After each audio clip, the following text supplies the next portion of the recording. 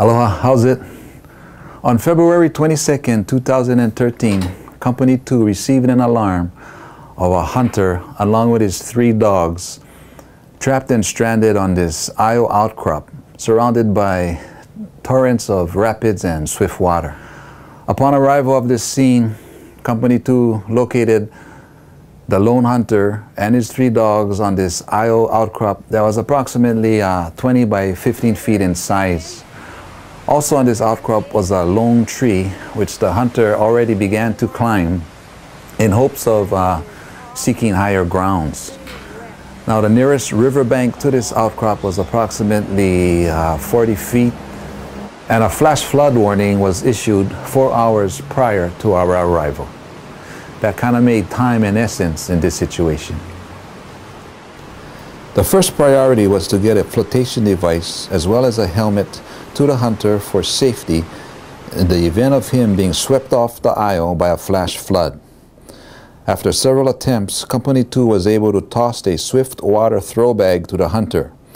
The hunter was then instructed to secure the end of the throw bag to the lone tree on the Ayo.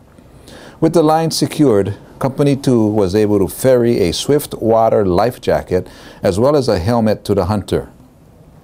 Company 2 then scaled the riverbanks upstream of the hunter to locate a tree as an anchor point for their tagline rescue system rigging. With the anchor point secured, Company 2 was able to attach a stabilization line as well as a cinch line to secure to the hunter's swift water life jacket. With all lines in place, Company 2 began hauling the hunter through the rapids and swift water to safety. The hunter's father, who was also on scene at the river banks, removed his shirt and prepared himself to jump into the swift water in the event that Company 2's rigging had failed.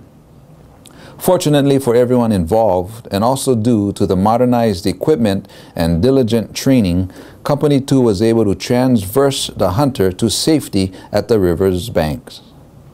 Once safely at the river's banks, one of the hunter's dogs jumped into the rapids in an attempt to follow his master. That dog was swept away and his fate is unknown. Despite pleas by the hunter and his family members, an attempt to save the other two dogs was aborted given the risk analysis of a human life versus that of a dog. To today, the fate of the other two dogs is still unknown. Fortunately for everyone involved, and also due to the modernized equipment that was received through the Sayre Foundation, Company 2 was able to traverse the hunter to safety at the riverbanks. Without the donated equipment and training that was provided through the foundation, the outcome definitely could have been met with a different fate. Given the inherited risk, the adverse weather and river conditions, as well as an incident that is rare in occurrence, I nominate FEO Tad Fujii, FRS Justin Neeson, FRS Edward McClellan, and FRS Adam Ranne for the Daniel Sayre Memorial Foundation Award.